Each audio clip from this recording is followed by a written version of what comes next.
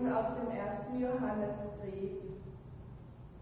Liebe Schwestern und Brüder, wir wollen einander lieben, denn die Liebe ist aus Gott. Und jeder, der liebt, stammt von Gott und erkennt Gott. Wer nicht liebt, hat Gott nicht erkannt, denn Gott ist die Liebe. Die Liebe Gottes wurde unter uns dadurch offenbart, dass Gott seinen einzigen Sohn in die Welt gesandt hat, damit wir durch ihn leben.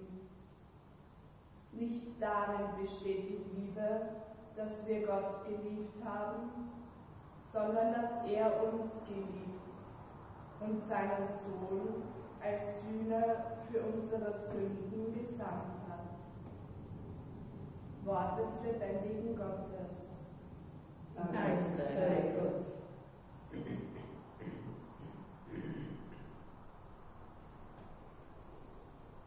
Ich habe es in der Vorbereitung gar nicht so einfach gefunden, dazu Gedanken zu finden, die ich sagen kann, außer dass Gott die Liebe ist.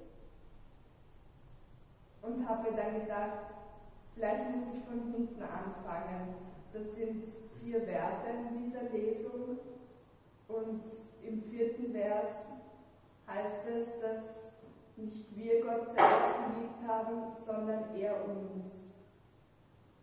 Wenn wir dann noch ein Stück zurück in den vorletzten Vers gehen, dann heißt es, dass er seinen Sohn in die Welt gesandt hat, damit wir durch ihn leben, damit wir durch ihn die Liebe erkennen. Und wenn wir diese beiden Dinge wissen, dann können wir darauf schließen, dass Gott die Liebe ist, weil wer nicht liebt, hat Gott nicht erkannt.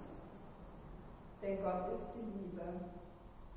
Und daraus kommt dann in dem ersten Vers die Aufforderung, dass wir einander auch lieben sollen, weil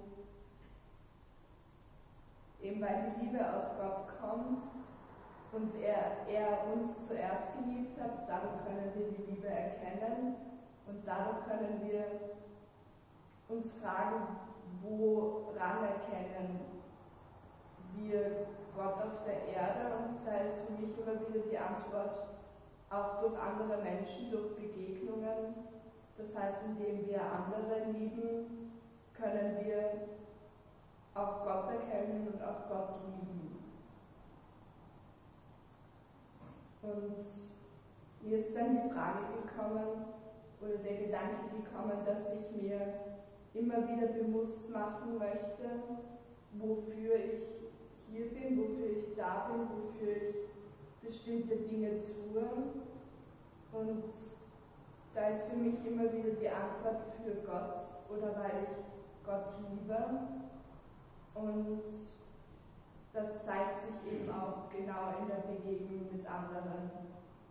Das ist, finde ich, auch das Schöne, dass ohne andere Menschen, ohne die Begegnung mit anderen, könnte ich auch nicht glauben, könnte ich auch nicht Gott erkennen.